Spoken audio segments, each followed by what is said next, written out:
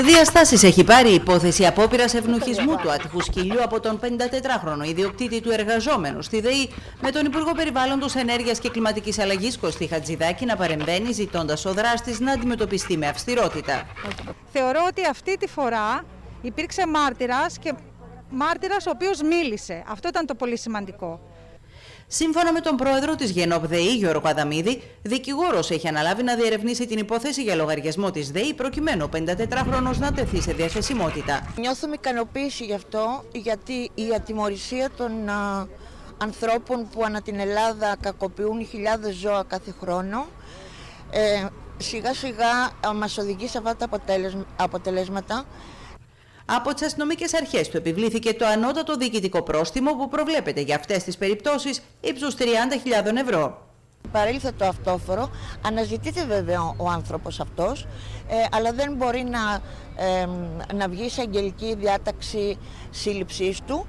Ε, θα ζητήσουμε λοιπόν από την εισαγγελία να γίνει άμεσα, το αργότερο μέσα σε ένα μήνα ε, η δίκη του ανθρώπου αυτού κάποια στιγμή θα εμφανιστεί. Δεν γίνεται να μην εμφανιστεί, είναι γνωστός, το ξέρουν οι πάντες.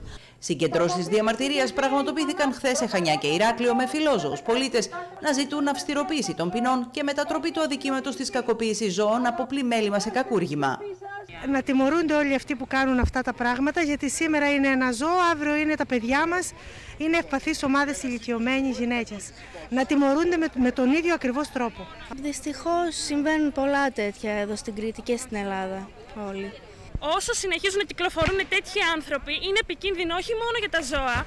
Οι φόλες, οι κακοποίησεις και αυτά θα φτάσουν αργότερα στην πόρτα ενός ανθρώπου που έχει παιδιά. Στο Ηράκλειο, φιλόζωοι που συγκεντρώθηκαν στην πλατεία Ελευθερίας έστειλαν το δικό τους μήνυμα. Να αγαπάμε τα ζώα γιατί αυτά είναι καλύτερα από τους ανθρώπους. Όχι στη βία στα ζωάκια και σε κανέναν υπεράσπιστο πλάσμα. Σεβασμό σε όλα τα ζωντανά πλάσματα. Το που είδατε, πώς σας έκανε να νιώσετε το που έγινε στα Χανιά; Πάρα πολύ άσχημο. Δυστυχώς. Τέτοιες πράξεις πρέπει να προσπαθούμε να τις κάνουμε πέρα. Ντροπή για τον κύριο που λέγεται κριτικός.